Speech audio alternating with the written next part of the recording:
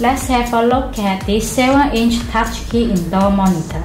I will give a brief introduction to this 5 key.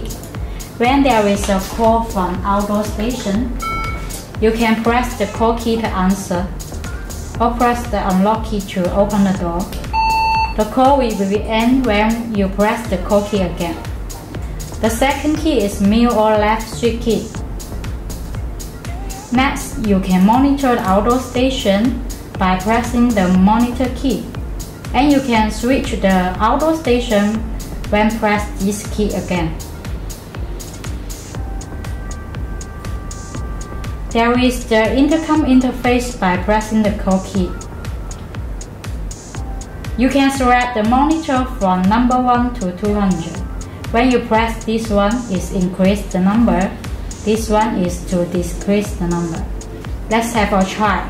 Firstly, let's set it as number 2 and press OK to make a call to this monitor. The call will be end when you press the call key again.